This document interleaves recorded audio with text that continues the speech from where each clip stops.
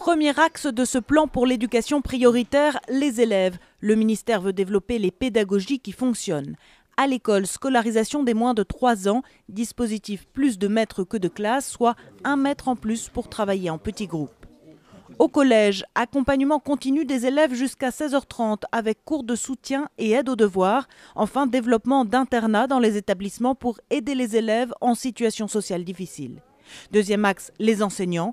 Pour lutter contre le turnover, ils auront du temps et de l'argent. Des heures en moins devant les élèves, soit 9 jours par an en primaire et une heure et demie par semaine au collège pour travailler en équipe et se concerter. Ils seront mieux formés, mieux accompagnés et bénéficieront d'une indemnité augmentée, voire doublée, dans les zones les plus difficiles, soit 200 euros par mois au lieu de 100.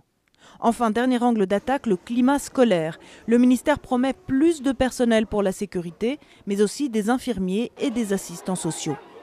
Quant au problème de cartes scolaires et de ghettoisation, le ministre compte sur l'amélioration des résultats des établissements pour faire revenir les classes moyennes.